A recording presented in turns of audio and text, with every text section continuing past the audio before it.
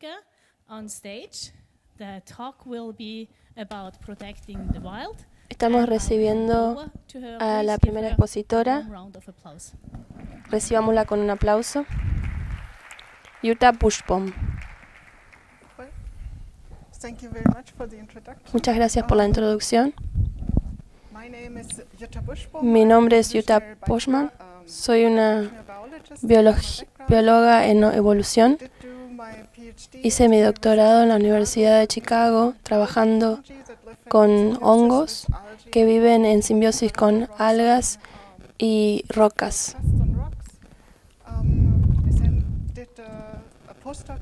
Después hice un postdoc en bioinformática y volví a trabajar con genética del bosque. The 10 years I worked in forest genetics, Después, for the first time 10 I años trabajé en genética Y, eh, um, tratando de fijarnos en lo aplicado. um, y cómo movernos al aplicado no es trivial. um, Entonces lo que voy a presentar es una manera tecnológica de usar eh, datos genómicos para proteger la biodiversidad, y para usar eh, herramientas eh, genéticas. Entonces este verano la sequía, el reporte de la IPES para la biodiversidad y servicios ecosistémicos, los, res- los resultados fueron muy preocupantes. Alrededor de un millón de animales y plantas están en este momento amenazadas. Y Hay muchas especies que ya son especies eh, muertas caminando, que no son, no se pueden reproducir de una manera sustentable. Un tercio de la ex- del riesgo de extinción de especies eh, ap- apareció en los últimos 25 años. Solamente para darles una idea de la, de la relación de la que estamos hablando,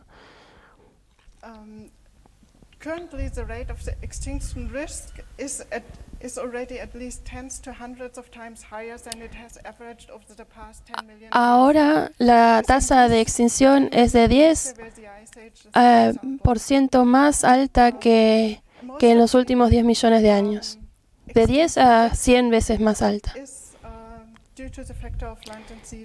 use Y esto es causado por la- el cambio en la tierra y en los mares.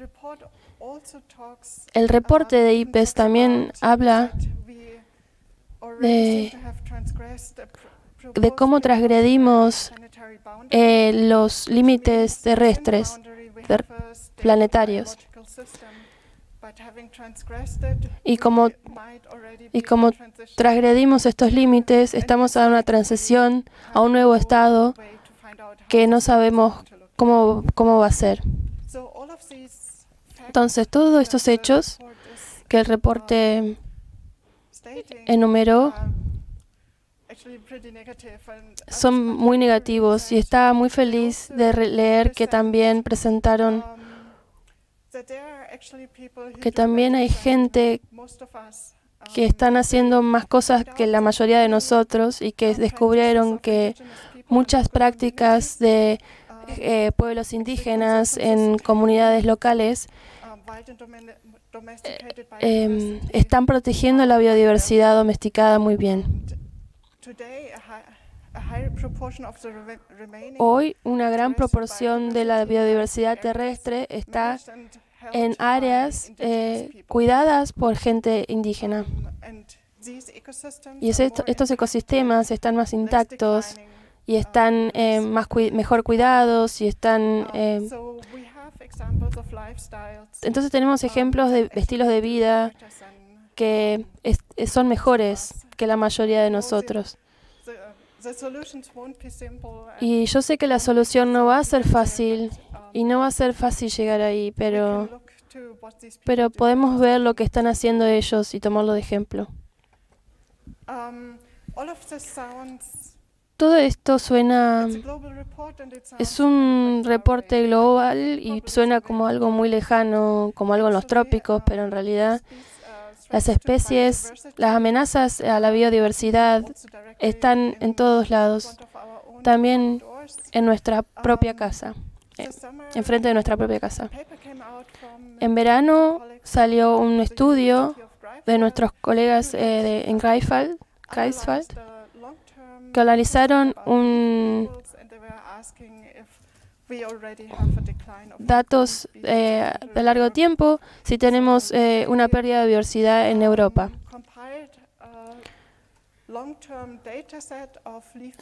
Entonces. Eh, se fijaron cómo cambiaba la biodiversidad de los escarabajos en Europa Central entre em, en 120 años y lo que de- descubrieron es que es que el reporte sistemático muestra um,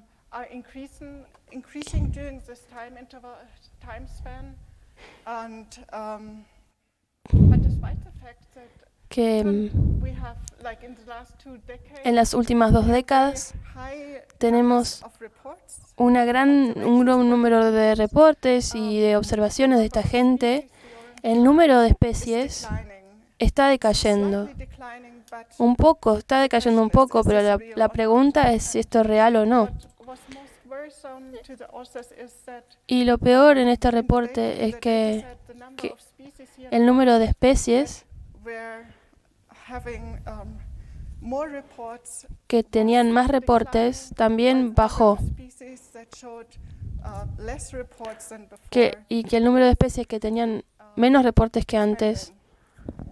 So, these kind of long-term Bueno, este tipo de, de base de datos de largo to plazo tienen que ser interpretados y, these patterns, y hay que interpretar estos patrones. um, not clear if Y es, no, no es claro, eh, no es claro si este patrón es estadísticamente significativo, pero, pero si lo vemos un poco más, nos vamos más atrás y no- nos vamos al, a nuestra información que tenemos ya, Um, como si, si vemos cómo, cómo, cómo creen ustedes que se ve el estado actual, ¿se ve bien o se ve preocupante? Um, Entonces, entonces dijimos que el conocimiento el conocimiento me dice que- esto- estos resultados si están, si están sesgados o no. Em, Una vez que, tenga, que tengamos una señal, de, esta- de, esta- estadi- de significancia estadística, va a ser muy tarde cuando tengamos esa señal. Ahora he estado hablando de escarabajos, escarabajos de hoja.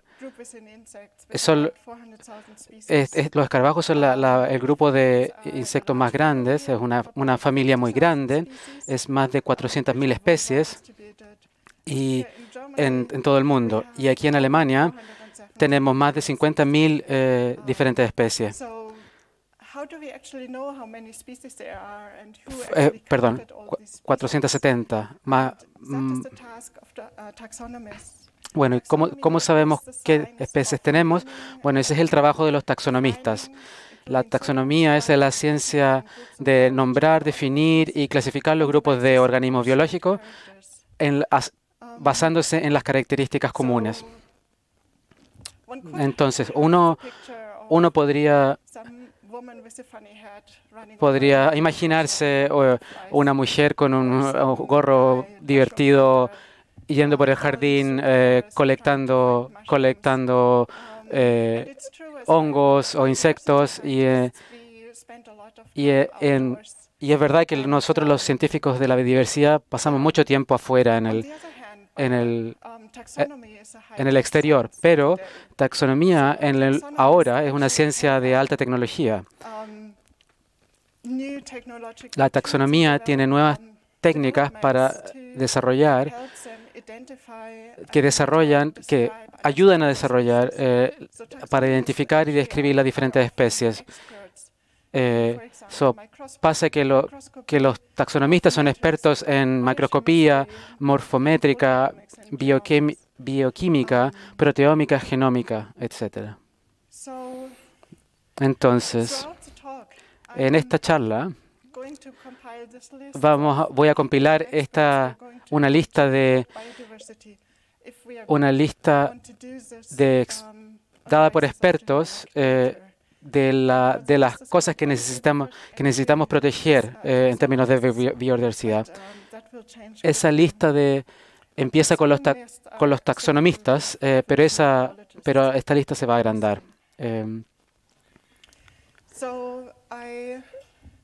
entonces, les dije que los, que, los taxonomistas y los científicos de la diversidad toman la tecnología y cuando los computadores llegaron y, el Internet, eh, la gente empezó a usar eh, em- empezó a usar estas tecnologías para compilar información de, las especies. Y, ahora tenemos muchos recursos globales para en el, en el, en el nivel de especies. Eh,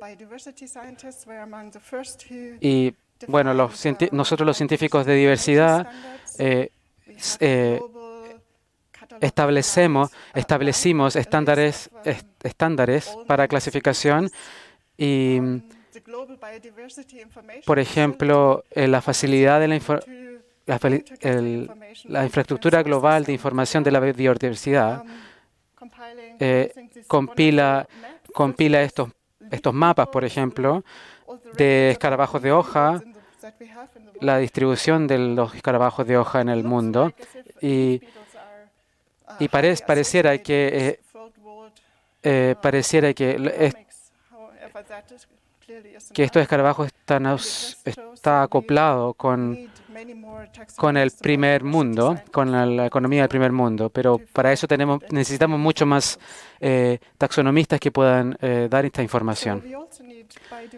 También necesitamos informáticos de la biodivers- biodiversidad, que no, para así ayudar a compilar la información en, a nivel global. Bueno, hasta ahora hemos estado hablando de las especies, eh, pero la pregunta es, ¿qué es una especie? Necesitamos hablar de entonces de la diversidad genética dentro y entre las especies. Esto lo voy a hacer haciendo, usando el ejemplo de,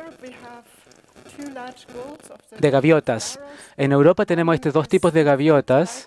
Eh, aquí la vemos una en, el frente, la, la más clara, y la de, la de atrás es la, es la otra más Heringsmöwe, la de adelante Silvermöwe. Entonces voy a usar los nombres en alemán porque eh, en inglés es al revés, entonces voy a hacerlo en alemán. En, aquí en, en Europa estas dos especies son, so- son buenas especies porque no se, no se hibridan. Bueno, pero si nos tomamos un paso atrás y vemos el genoma en general, vemos que las especies de los genos están, están distribuidos alrededor del Ártico en una forma de anillo. La idea, la idea que durante la era de hielo, que durante la era de hielo toda esta área estaba glaciada, helada, y,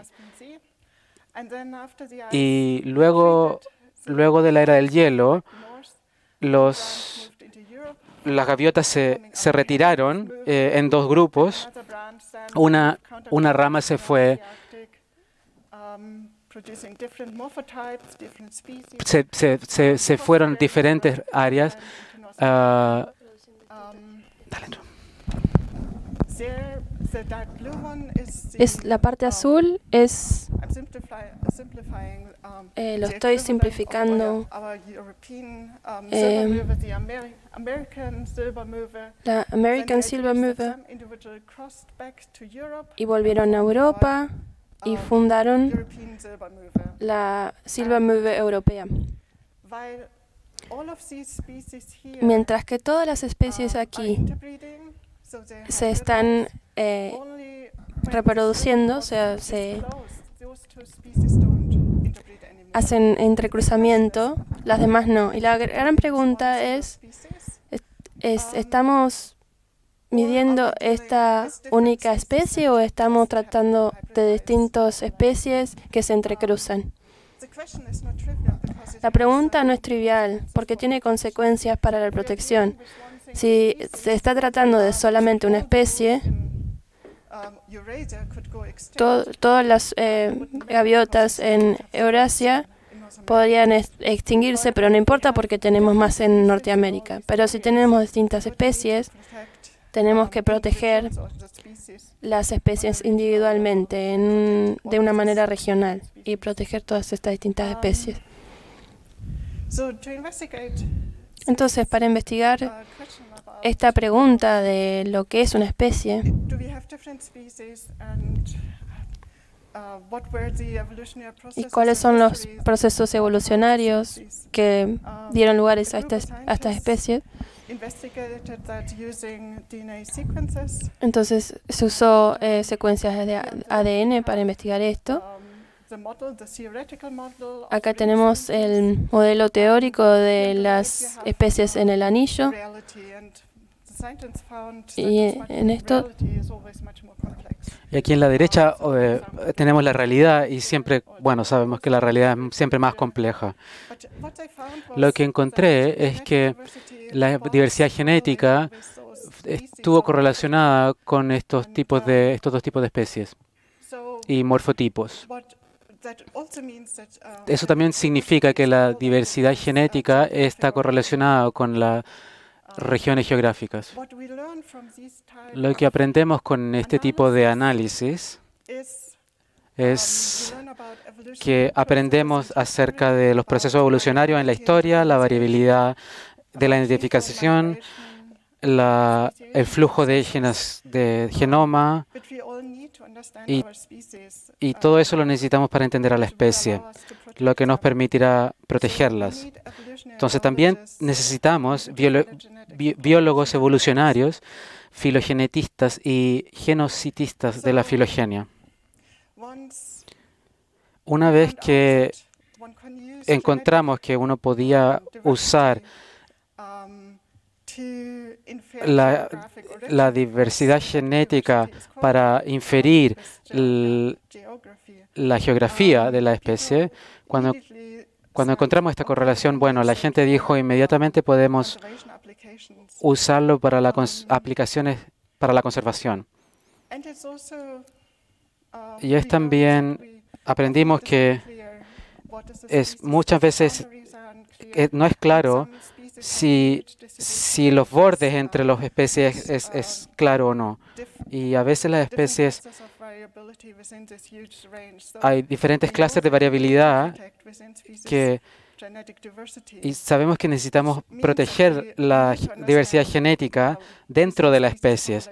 Y para eso, entonces necesitamos, para eso necesitamos entender la estructura de población dentro de la especie. Y para eso necesitamos construir modelos que sean útiles y útiles y mm, confiables, eh, para determinar la estructura de la población.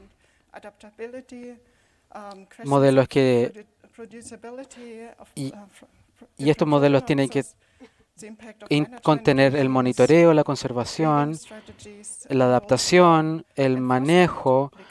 Como el cruzamiento y, y las The studies I showed you before with the gulls, um, we also know that we need to approach the question of a Bueno, necesitamos también, eh, uh, um, necesitamos scale. Necesitamos escalar estos modelos.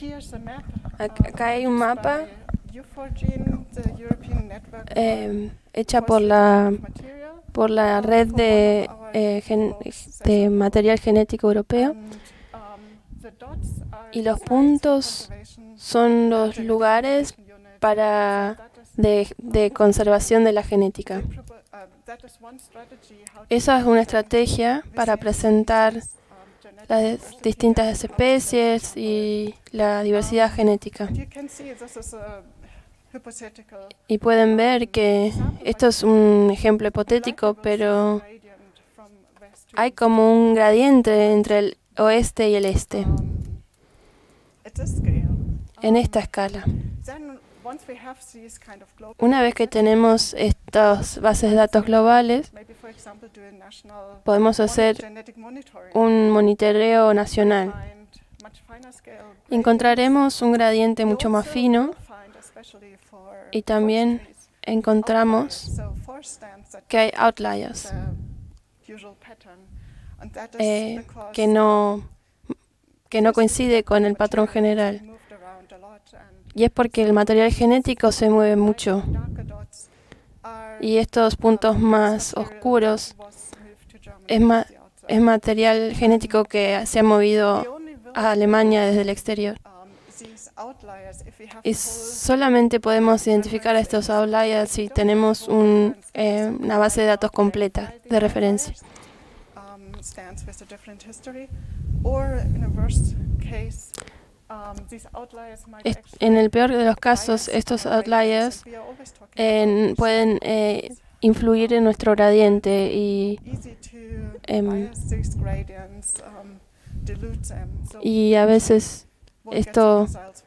Diluye y ah, influye en los resultados.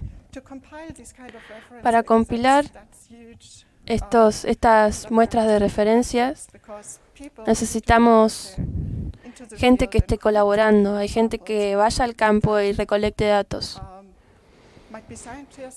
Pueden ser eh, científicos, científicas, gente de las comunidades, um, eh, oficiales de go- de gobierno, organizaciones no gubernamentales.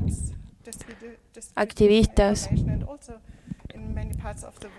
Y también en muchas partes del mundo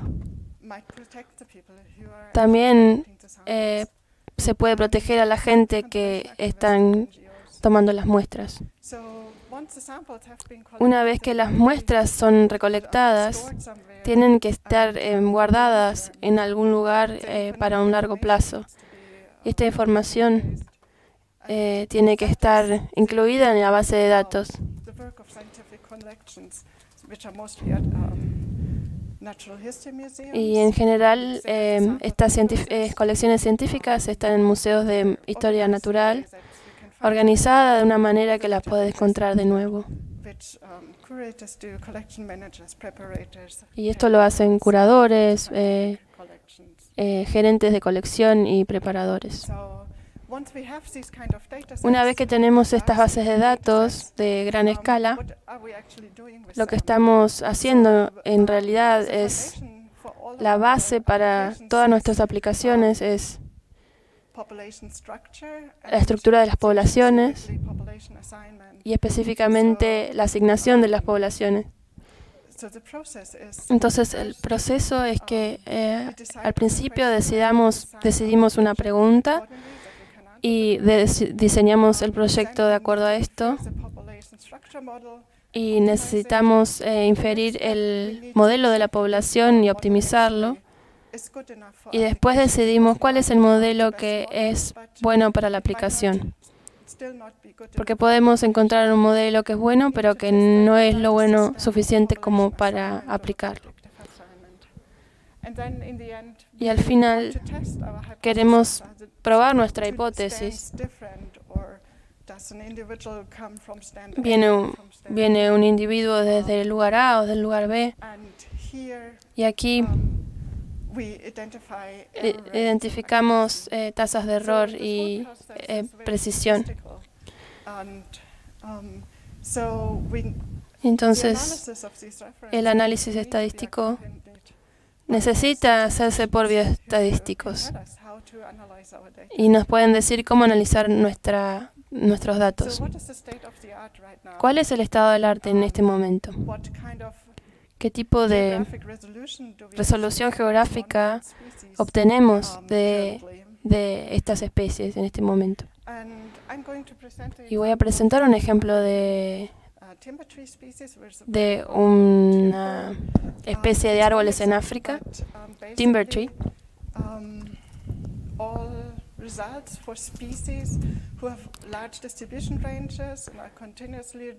Están distribuidas continuamente en un, en una, en un área grande y son muy similares.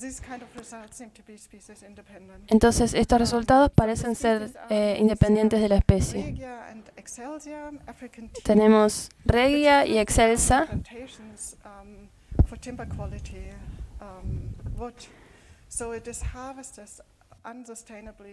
tienen, sí, tienen una manera de, de explotarla que no es sustentable. Están distribuidas en el oeste, eh, central y este de África y un grupo de una docena de científicos tomaron las, las muestras para estas dos especies. Uh, over 400 samples, Más o menos eh, más de 400 um, muestras. something like 100 mar- uh, y tomaron como 100 eh, marcadores genéticos y optimizaron el modelo. um. Acá hay distintos eh, grupos de parámetros y nos vamos a concentrar en las mejores soluciones que encontré. Um, Y este rectángulo acá es este negro acá. Bueno, encontraron que había claramente estructuras de población de clusters y las- las poblaciones de, populations del África del Oeste pueden ser distinguidas de la África del, del centro y las del oeste También pueden ser diferenciados. Entonces, tenemos estructura de población, sabemos que hay una señal. El problema aún es que la resolución, nuestra resolución es muy, muy baja para la que necesita, necesitaríamos tener.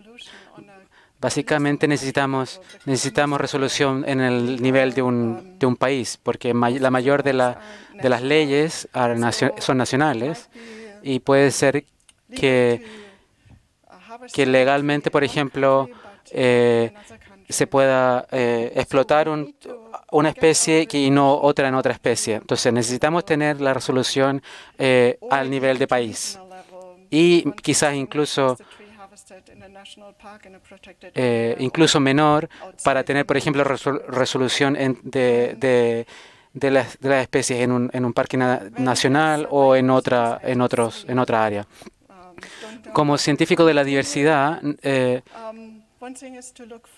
una forma de, para continuar es, es eh, analizar los modelos de organismos y, y, por ejemplo, podemos analizar lo que pasa con los humanos, con el humo- la- los genéticos de, eh, de po- población eh, es, también trabajan y tienen completamente diferentes tipos de, de financiamiento y eh, que mucho, mucho de ese financiamiento viene de la farma. Eh, lo que sabemos de la sabemos de, este- de- este campo es que hay dos tipos de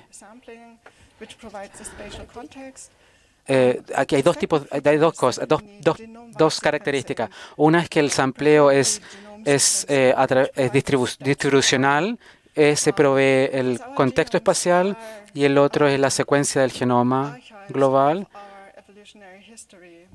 que, pro- que provee eh, una idea de, en el tiempo.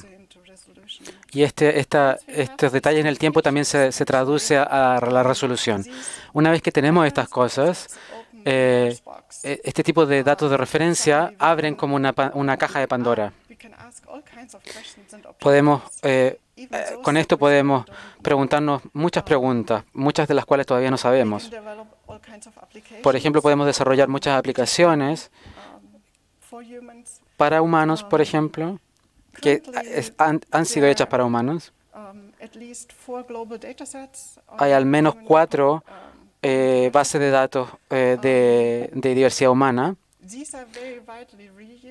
Esto ha, siem- ha s- usado muy, eh, han, sido usados por todos y estos, estos bases de datos son bastante grandes en términos de muestras y de representación del genoma y de genomas. Esto resulta en, en datos que son muy ricos en información eh, entonces, para el desarrollo. Entonces, la gente que está desarrollando estos métodos estadísticos eh, está- están desarrollando métodos estadísticos y muchos de estos métodos están viniendo ahora.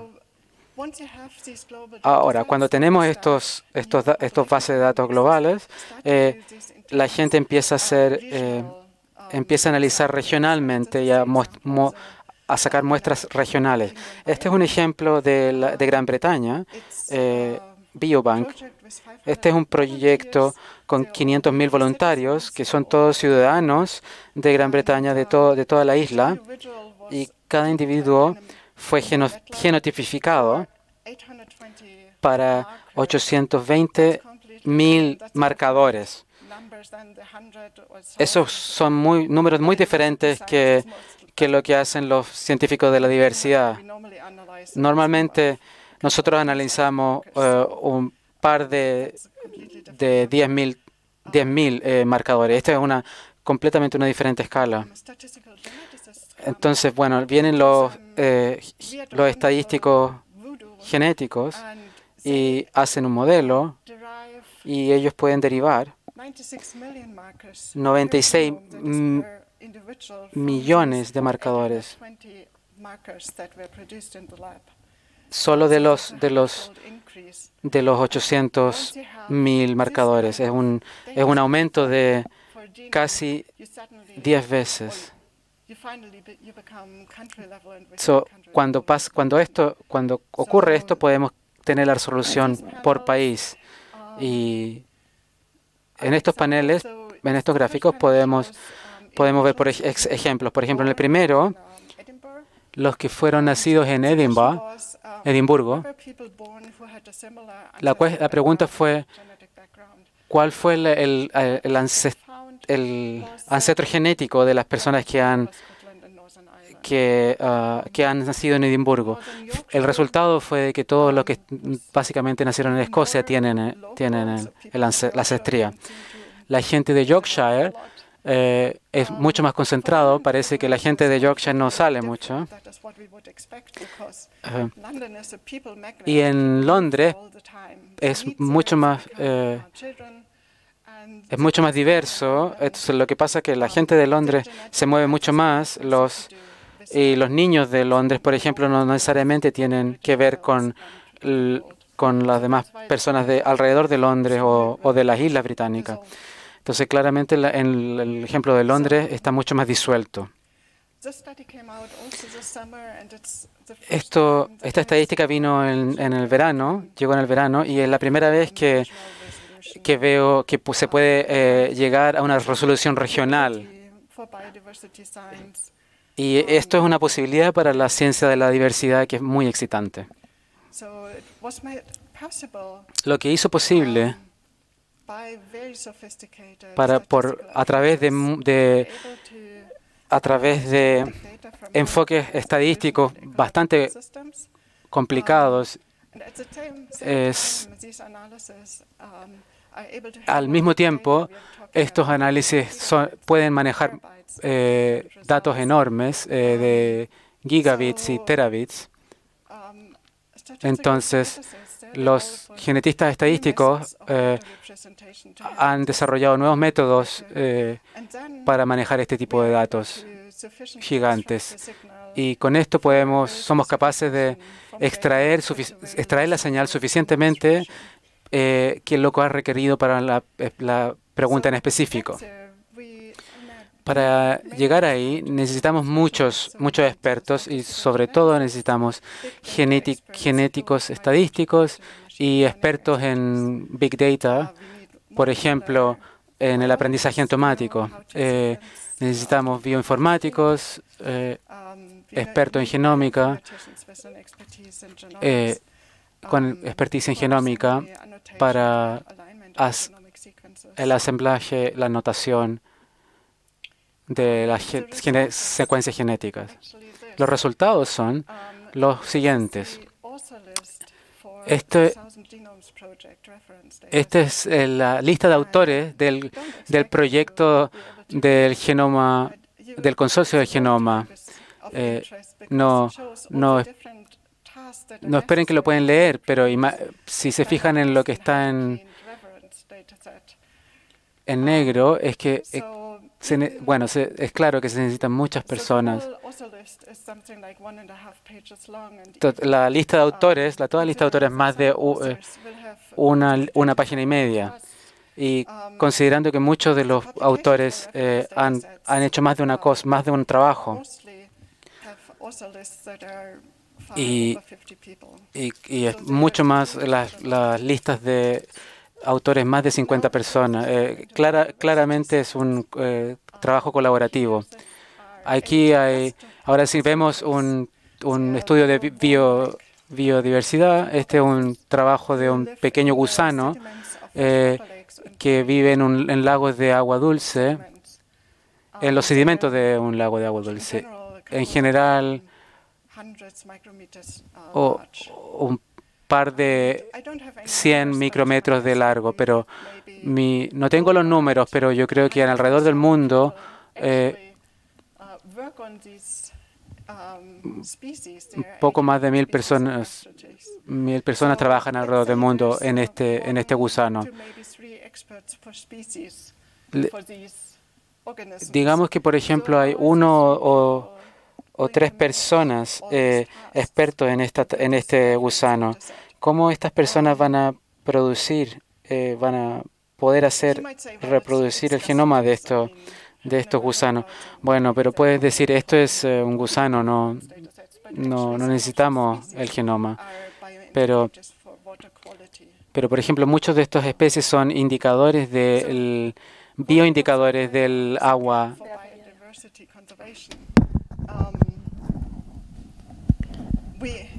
Si queremos cerrar el gap eh, para la conservación de la biodiversidad, una vez que tenemos la caja de Pandora abierta, tenemos todo tipo de estadística disponible para analizar nuestra base de datos, pero de todas maneras em, hay, hay algunas estadísticas que no nos proveen con la resolución que necesitamos. Y para cerrar este gap, eh, también para eh, especies individuales es un gran eh, gap y, y ya necesitan protección efectiva. Entonces necesitamos encontrar una manera de cerrar este gap y empezar a, a proteger las especies. Lo bueno es que todo toda esta ciencia en la academia necesita hacer una transición para proteger realmente a las especies. Y lo bueno es que sabemos lo que tenemos que hacer. Entonces necesitamos eh, bases de datos de referencia en una gran área, necesitamos estadística.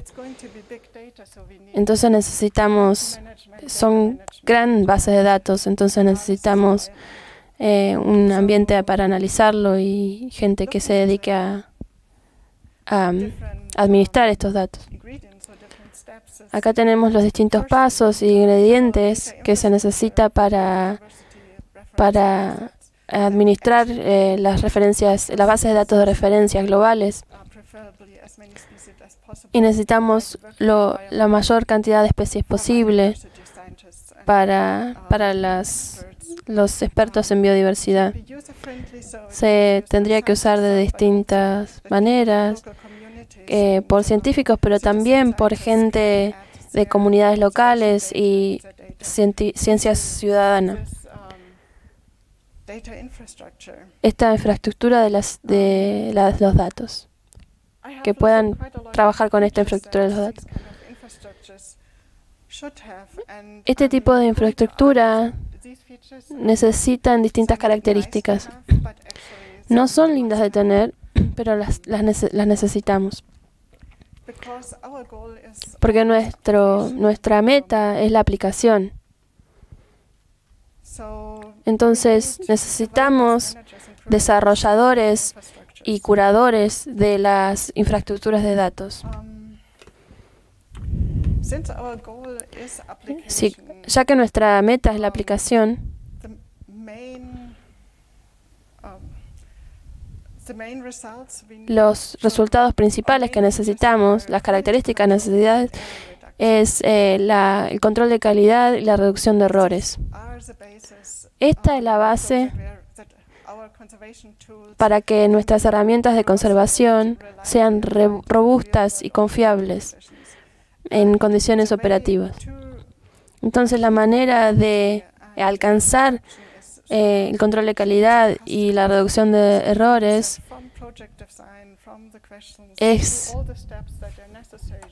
eh, la, la cadena de, de cuidado, de custodia. Así, eh, desde la colección de muestras, el, eh, el análisis estadístico, todo se tiene que documentar y estandarizar. Y tiene que ser validado y reproducible. Tiene que haber un modelado, eh, tiene que ser eh, amigable con el usuario y tiene que ser escalable. Entonces, si, si nuestra cadena de custodia tiene toda esta característica, vamos a tener una herramienta que funciona en, en a lo diario. Entonces necesitamos especialistas de hardware. Necesitamos desarrolladores que sean capaces de mantener y de sostener, de, de mantener y de sostener este hardware.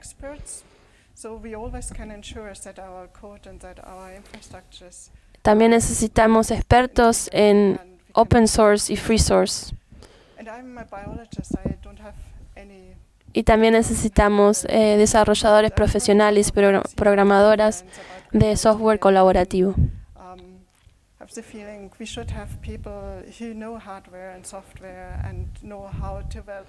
Tengo la sensación de que necesitamos desarrolladores de software y hardware que lo puedan desarrollar de manera sustentable.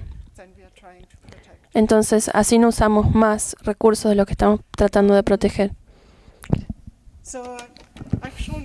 He mostrado todas estas características de cómo el, de lo que debería tener el software y, lo que estoy diciendo aquí es que estas características son necesarias son necesarias para la realidad que estamos enfrentando, una realidad que del aumento de la, sobreexplotación So y la destrucción de la naturaleza.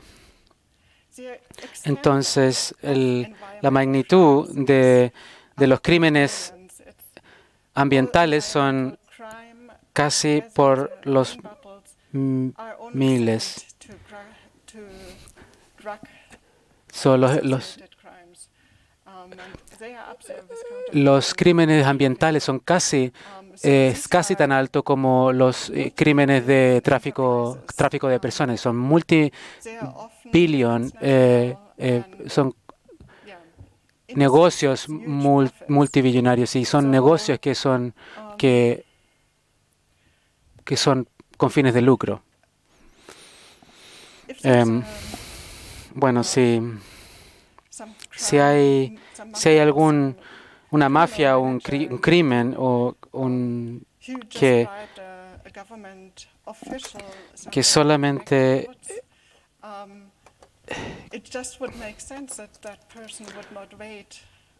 que soborna a la gente del gobierno, es claramente claro que esta, esta persona va a tratar de ocultarse. eh, eh, por ejemplo, una persona que, que saca de un container eh, en, un- en una bahía eh, y,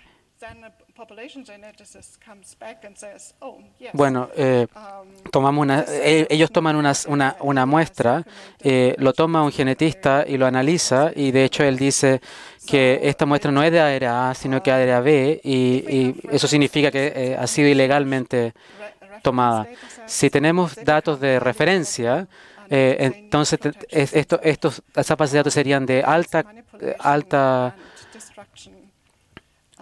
serían muy importantes porque así eh, podríamos eh, descubrir este tipo de cosas. Entonces necesitamos seguridad desde el principio. También estos bases de datos son normalmente sensibles políticamente, porque, por ejemplo, si, uno muestra que eh, uno muestra que eh, ilegal, esta, estas muestras han sido ilegalmente tomadas, bueno, ellos no van a estar muy satisfechos o felices con este, con este tipo de base de datos. Por lo tanto, también necesitamos expertos eh, en, de IT. Entonces, mi, mi esperanza es que, es que estas herramientas de conservación que sean tecnológicas realmente puedan, eh, puedan ayudar a los objetivos de desarrollo sustentable de las Naciones Unidas. Eh, por ejemplo, para proteger la tierra de la tierra de eh, gente indígena.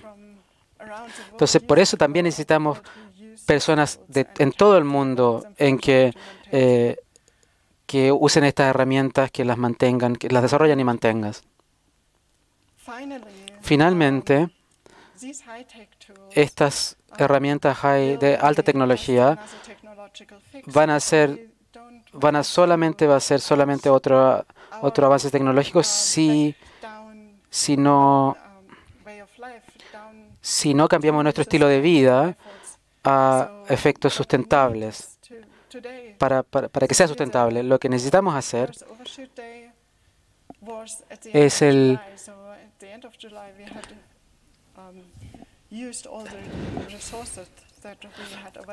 este año, por ejemplo, teníamos los días, los días de eh, los días de excederse por país y esto ya, ya ocurrió en este día.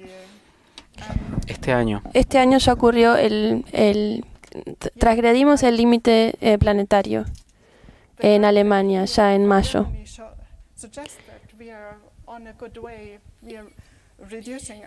Y, y, estamos pero estamos en, en un buen camino, estamos reduciendo el uso de recursos en Alemania. Parece que nuestros estilos de, de, vida personales hacen una diferencia, pero tenemos que ser más rápidos. Entonces, eh, proteger la diversidad nos necesita a todos nosotros. Y con esto les agradezco mucho.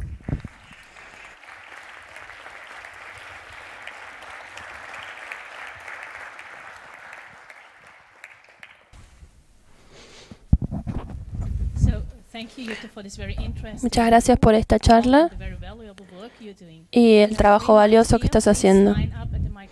Ahora vamos a recibir preguntas.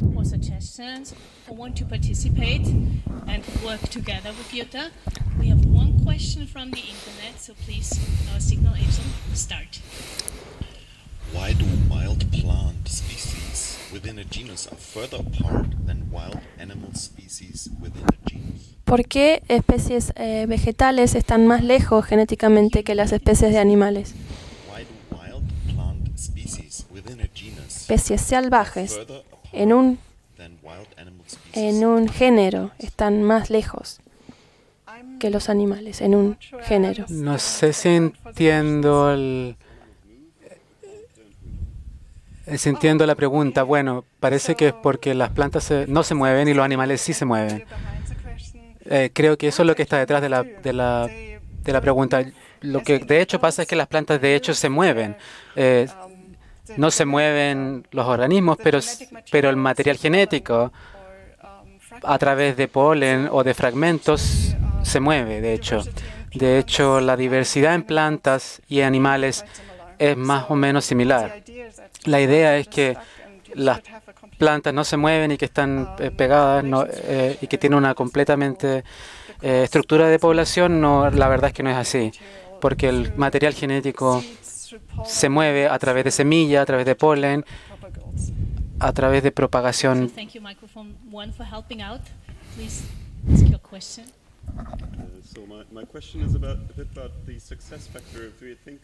Mi pregunta es eh, acerca del éxito de la base de datos. Creo que va a ser una base de datos enorme. La, la, bajé y es de 150 megabytes. Y si lo multiplic- multiplicamos, eh, una diferencia entre una persona y la otra es solamente un po- 1%. Si secuenciamos todos los humanos en el mundo, va, a ser 32 petabytes. Eso costaría 15 billones de dólares. Y eso solamente es para guardar los datos. Por, por supuesto, no queremos eh, digitalizar todas las secuencias de los de ADN de los humanos. ¿Cuál sería eh, la tasa de éxito para este proyecto realmente despegue? ¿Hablaste con más gente en la universidad o quién estaría a cargo del proyecto? Eh, bueno, es, mu- es sus datos muy grandes And I mean, y I think the- the yo creo que el primer objetivo eh, no es pensar pensar de que vamos a tener todas las eh, los datos de todos los millones de especies, de todos los miles de especies que vamos a tener la, la secuencia en eh, el nivel de población. Necesitamos pensar en el siguiente paso. Lo que tiene sentido es estar con especies, estar empezar con, con especies que son altamente explotadas, por ejemplo, de madera, plantas de madera o especies marinas. Para alojar este tipo de datos eh, debería ser en, eh, debería ser en un en un organismo políticamente independiente, como por ejemplo una ONG o alguna organización que es independiente. ¿Sos la primera en pensar en esto o hay otra gente haciéndolo también? Hay, hay iniciativas interesantes, por ejemplo, estoy en contacto con el Consejo de Stewardship, que ellos han e- empezado a, a muestrear y empezaron a, ini- iniciaron a, em-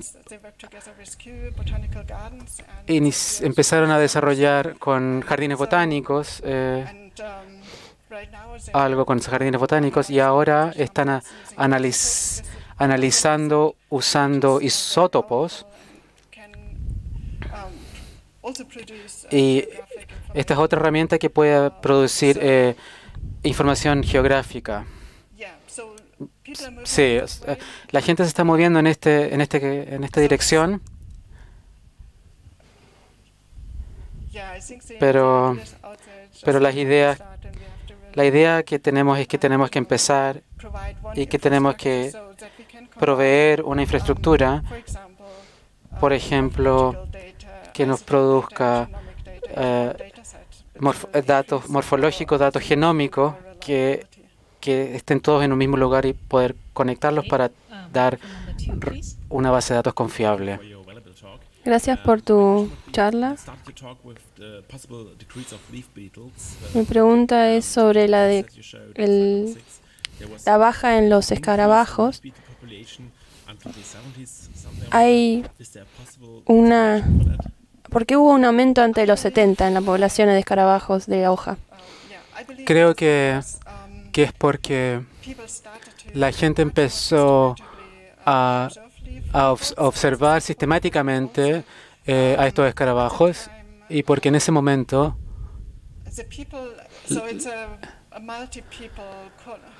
es una en ese momento la gente es un es un la gente empezó a- la gente la gente que ha que ha estado en esta colaboración tiene también una base de datos privado y yo creo que por eso es que eh, ha aumentado eh, es en con- en- al contrario eh, en años en muchos años anteriores no había no, no estaba esa posibilidad Así que por eso yo creo que es, eh, ese aumento ha ocurrido eh, para la base de datos de escarabajos. Gracias por tu charla y perdón por la pregunta. Está un poco fuera del tema. ¿Pensás que los métodos y los, las metas que están identificando pueden ser transferidas a, a, a- data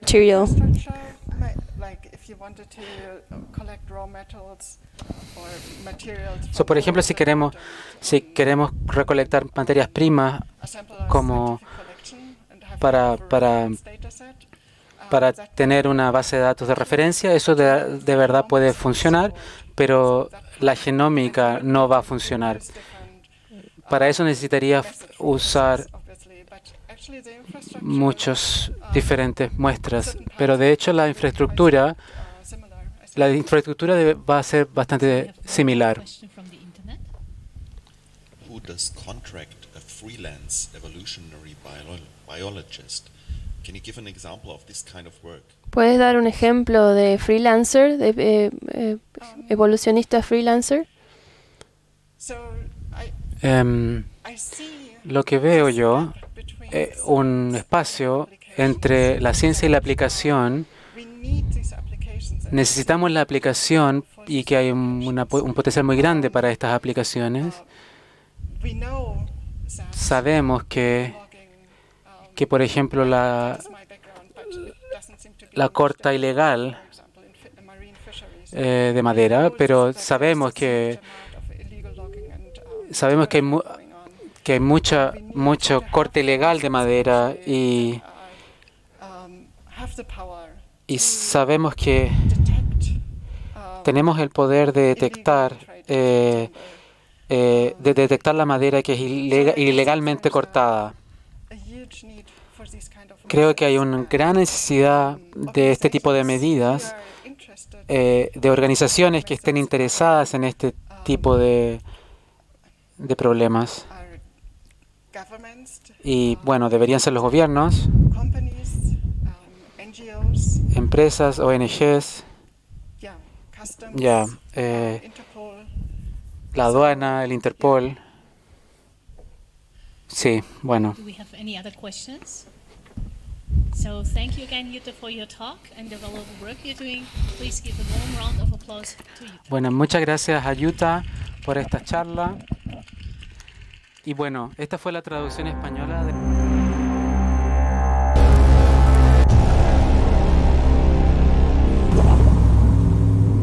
You.